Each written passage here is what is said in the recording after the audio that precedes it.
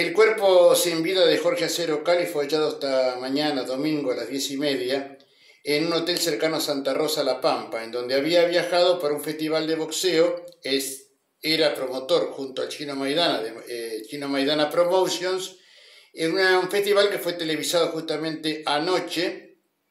por Nocao 9, en Canal 9. Y se lo había visto en televisión. Fue un paro cardíaco según las fuentes allegadas a este hombre que fue campeón del mundo de kickboxing, tenía 49 años,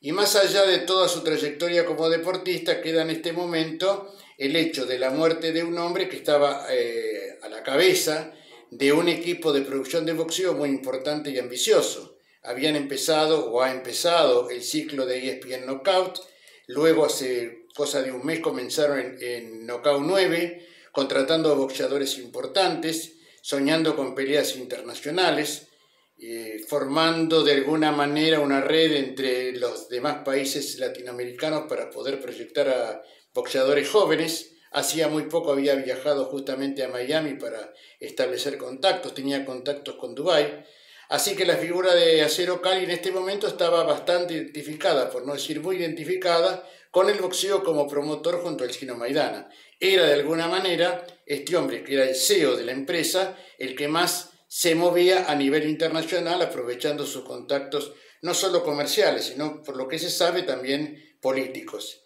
Así que se ha ido um, prematuramente, indudablemente, una figura que estaba en pleno apogeo como promotor de boxeo, discutido por algunos, pero apreciado por la mayoría, y que también deja ahora un hueco importante en la empresa chino Maidana Promotions. Más allá de eso, se ha ido un hombre de un origen muy, pero muy humilde, alguna vez lo conversamos mucho con él, venía muy de abajo y que a fuerza, más allá de la fuerza de sus músculos, de su voluntad y su empeño, llegó a ser campeón del mundo, llegó a llenar el Luna Park y llegó a ser todo un personaje, porque ¿quién no ha conocido, aunque sea de referencias, a Jorge Acero Cali, que hoy ya no está con nosotros? Seguramente de todo esto vamos a hablar, entre otros muchos temas,